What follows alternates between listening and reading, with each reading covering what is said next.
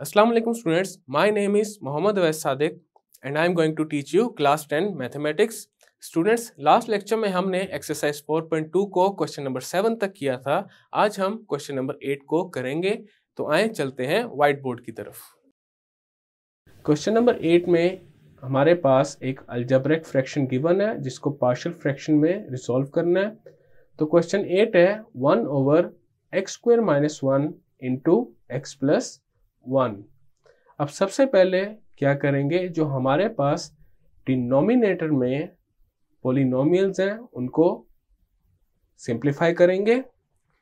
तो ये हमारे पास इक्वल आ जाएगा one over x square minus one is equal to x plus one into x minus one and then x plus one आ जाएगा। अब यहाँ पे हमने फॉर्मूला लगवाया a square minus b square का which is equal to a plus b into a minus b और जब उसी फॉर्मूले को एक्स स्क्वेयर माइनस वन पे अप्लाई करेंगे तो ये हो जाएगा x plus one into x minus one अब यहाँ पे हम देख सकते हैं एक्स माइनस वन हमारे पास एक दफ़ा आ रहा है और एक्स प्लस वन दो दफ़ा आ रहा है तो यहाँ पे आ जाएगा x plus one square because हमारे पास बेस सेम है तो पावर्स ऐड हो जाएँगी। एंड साथ उसके मल्टीप्लाई हो जाएगा एक्स माइनस वन। अब हम इस फ्रैक्शन को रिजॉल्व करेंगे पार्शल फ्रैक्शन में और इस फ्रैक्शन के डिनोमिनेटर में देखा जा सकता है कि जो x प्लस वन है, जो कि लीनियर फैक्टर है, वो दो दफ़ा रिपीट हो रहा है और x माइनस वन सिर्फ़ एक ही दफ़ा आ रहा है। और जब हमारे पास डिनोमिनेटर में रिपीटेड लीनियर फैक्टर्स हों, हम उनको पार्शल फ्रैक्शंस में कैसे रिजॉल्व करते हैं, ये हम पहले पढ़ चुके हैं और इससे पहले पिछले लेक्चर्स में हमने एक्सरसाइज 4.2 के जितने भी क्वेश्चंस किए हैं, उनमें यही किया है। तो यहाँ पे सबसे पहले लिखेंगे one over x plus one whole square into x minus one जब इसको पार्शियल फ्रैक्शन में रिजॉल्व करेंगे तो ये किसके इक्वल आ जाएगा? A over x plus one plus b over x plus 1 whole square plus c over x minus one next हम क्या करते थे? जो लेफ़्ट साइड पे अल्जब्रिक फ्रैक्शन है, उसके डिनोमिनेटर से दोनों साइड्स पे मल्टीप्लाई कर देते थे। तो यहाँ पे लिखते हैं multiplying with x plus 1 whole square into x minus 1 on both sides. इसको हम नेम देते हैं क्वेश्चन वन का। तो क्वेश्चन वन अब हमारे पास क्या आ जाएगी? One over x plus one whole square into x minus one multiply by x plus one whole square into x minus one is equal to a over x plus one into x plus 1 whole square into x minus 1 plus b over x plus 1 whole square into x plus 1 whole square into x minus 1 plus c over x minus 1 into x plus 1 whole square into x minus 1 अब हमारे पास ये जो क्वेजन आई है, इसको simplify कर लेते हैं। Left hand side पे देखा जा सकता है x plus one whole square x plus one whole square से कैंसिल आउट हो जाएगा एंड एक्स माइनस वन भी एक्स माइनस वन से कैंसिल आउट हो जाएगा।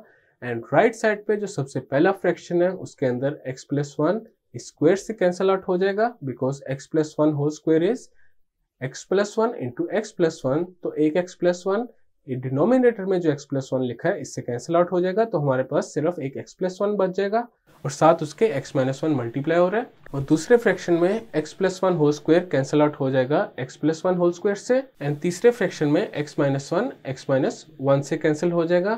देन हमारे पास जो रिमेनिंग टर्म्स हैं, वो लिख लेते हैं तो ये आ जाएगा one is equal to a into x plus one into x minus one plus b into x minus one plus c into x plus one whole square अब हम क्या करेंगे? जीरोज मेथड को अप्लाई करेंगे। अब उसका क्या तरीका है? सबसे पहले ये जो x माइनस वन है, इसको हम ज़ीरो के इक्वल पुट करेंगे और जो हमारे पास x की वैल्यू आई है, उसको वापस इसी इक्वेशन में सब्सटीट्यूट कर देंगे। तो इस इक्वेशन को नेम देते हैं इक्वेशन टू का। एंड अब क्या करेंगे? X माइनस वन को ज़ीरो के इक्वल पुट कर दिया। तो x यहाँ से किसके इक्वल आ गया? वन के इक्वल आ गया। अब x is equal to one को इक्वेशन टू में पुट करते हैं और देखते हैं हमारे पास कौन से जो अननोन कॉन्स्टेंट्स हैं, वो आते हैं। तो लेफ़्ट साइड पे तो वन आ जाएगा एंड राइट साइड पे हमारे पास आ जाएगा a into one plus one into one minus one plus b into one minus one plus c into one plus one whole square next हम इस इक्वेशन को सिंप्लीफाई कर लेते हैं। यह आ जाएगा one is equal to a into two into zero plus b into zero plus c into two और टू के ऊपर स्क्वेयर आ जाएगा। अब यहाँ पे देखा जा सकता है वन किसके इक्वल आ जाएगा? A into two into zero is zero plus b into zero is zero plus c into two square is four तो हमारे पास इक्वेशन आ गई। One is equal to four c और यहाँ से जब सी की वैल्यू निकालेंगे तो आ जाएगा c is equal to one over four next हम दोबारा क्वेश्चन नंबर टू को देखते हैं। अब हम क्या करेंगे? जो x प्लस वन है, इसको ज़ीरो के इक्वल रखेंगे और जो x की वैल्यू आएगी, उसको वापस इक्वेशन नंबर टू में पुट कर देंगे। तो हमारे पास आ गया x plus one is equal to zero अब यहाँ से x क्या आ गया? माइनस वन तो हमारे पास x is equal to minus one आ गया। अब x की इस वैल्यू को इक्वेशन नंबर टू में पुट कर देंगे। तो हमारे पास आ जाएगा one is equal to a into minus one plus one into minus one minus one plus b into minus one minus one plus c into minus one plus one whole square अब इसको simplify कर लेते हैं। तो ये आ जाएगा हमारे पास one is equal to a into zero into minus two plus b into minus two plus c into zero next हमारे पास क्या आ जाएगा? One is equal to zero plus minus two b plus zero तो हमारे पास क्या आ गया? One is equal to minus two b अब हम यहाँ से b की वैल्यू निकालेंगे। B हमारे पास किसके इक्वल आ जाएगा? वन ओवर माइनस टू अब हमारे पास b एंड c आ चुके हैं। अब हमने फाइंड करना है a को।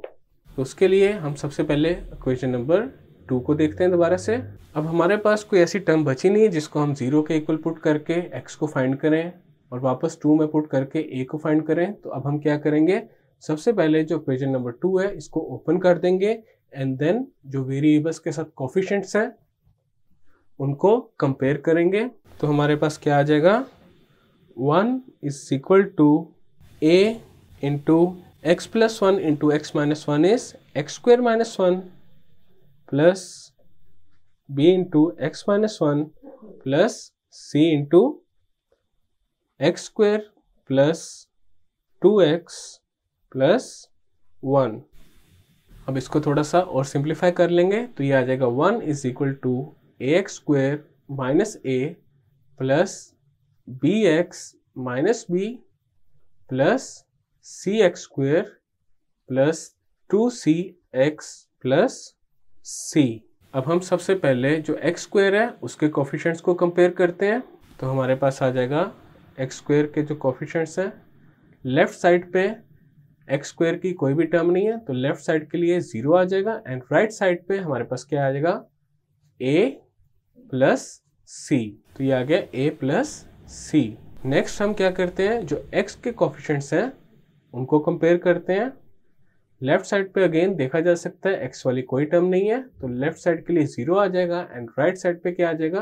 बी प्लस टू सी तो यह आ जाएगा बी प्लस टू सी अब हम कॉन्स्टेंट्स को कंपेयर करते हैं तो कॉन्स्टेंट के लिए यहाँ पे लिख लेते हैं सी लेफ़्ट साइड पे जो कॉन्स्टेंट है वो है वन एंड राइट साइड पे हमारे पास क्या है? Minus a minus b plus c तो ये आ जाएगा minus a minus b plus c अब हम जानते हैं, अब हमने ऑलरेडी बी एंड सी की वैल्यूज़ फाइंड की हुई हैं। तो हम ए की फाइंड करने के लिए या तो ये वाली इक्वेशन यूज़ कर सकते हैं, या फिर जो ये थर्ड नंबर पे लिखी है, ये वाली यूज़ कर सकते हैं।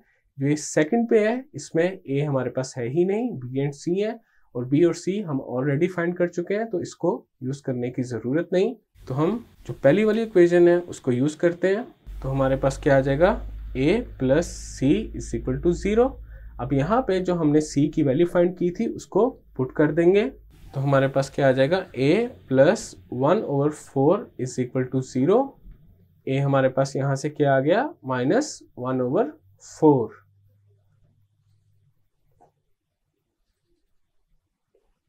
इसी तरह हमारे पास जो ये थर्ड नंबर पे इक्वेशन लिखी है, अगर हम इसको भी यूज़ करते हैं, तब भी हमारे पास ए माइनस वन और फोर के इक्वल आता। तो इसको एक दफ़ा वेरीफाई करके देख लेते हैं। थर्ड इक्वेशन है minus a minus b plus c is equal to one अब यहाँ पे माइनस ए आ जाएगा। माइनस बी की हमने क्या वैल्यू फाइंड की है? Minus one over two and c की वैल्यू फाइंड की है one over four and this is equal to one अब इसको सिंप्लीफाई कर लेते हैं। तो ये आ जाएगा minus a plus one over two plus one over four is equal to one तो माइनस ए इक्वल आ गया one minus one over two minus one over four. अब ये जो ए के साथ माइनस मल्टीप्लाई हो रहा है इसको राइट साइड पे ले जाएँगे तो ये हो जाएगा minus one plus one over two plus one over four. अब हम राइट साइड को सॉल्व कर लेते हैं। तो राइट साइड को सॉल्व करने के बाद क्या आ जाएगा? Minus one over four. अब यहाँ पे देखा जा सकता है, हमने जो ये तीसरी इक्वेशन उठाई थी, इससे भी ए क्या आ रहा है? Minus one over four. और जो पहली इक्वेशन थी, उससे भी ए क्या आ रहा है? माइनस वन ओवर फोर अब हमारे पास तीनों जो कॉन्स्टेंट्स थे, उनकी वैल्यूज़ आ चुकी हैं। तो वो नीचे एक दफ़ा लिख लेते हैं। ए क्या आया था? Minus one over four b हमारे पास आया था minus one over two and c किसके इक्वल था? वन ओवर फोर के। अब हम इन तीनों को क्वेश्चन वन में पुट करते हैं। तो ये हमारे पास किसके इक्वल आ जाएगा? One over x plus one whole square into x minus one is equal to a की जगह आ जाएगा minus one over four over x plus one plus b की जगह आ जाएगा minus one over two over x plus one whole square plus c की जगह आ जाएगा one over four over x minus one अब इसको थोड़ा सा सिंप्लीफाई कर लेते हैं। तो ये हमारे पास आ जाएगा one over x plus one whole square into x minus one is equal to minus one over four into x plus one minus one over two into x plus one whole square plus one over four into x minus one अब left side पे जो fraction है, वो हमने simplify करके लिखा था, जो क्वेश्चन में हमारे पास फ्रैक्शन गिवन था उसको। तो लेफ़्ट साइड पे हम उसी फ्रैक्शन को लिख देते हैं, जो हमारा मेन फ्रैक्शन है, वो क्या है? One over x square minus one into x plus one तो ये किसके इक्वल है? Minus one over four into x plus one minus one over two into x plus one whole square plus one over four into x minus one. तो हमारे पास question eight में जो अल्जब्रैक fraction given था, उसको हमने partial fractions में resolve कर दिया और ये है हमारा रिक्वायर्ड रिज़ल्ट और इसी क्वेश्चन के साथ हमारी एक्सरसाइज 4.2 भी कंप्लीट हो चुकी है। स्टूडेंट्स आज के लेक्चर में हमने एक्सरसाइज 4.2 का क्वेश्चन नंबर 8 कंप्लीट कर लिया है और इसी क्वेश्चन के साथ हमारी एक्सरसाइज भी कंप्लीट हो चुकी है। मैं उम्मीद करता हूँ आपको आज का लेक्चर समझ आया होगा। मिलते हैं फिर नेक्स्ट लेक्चर में। Thank you.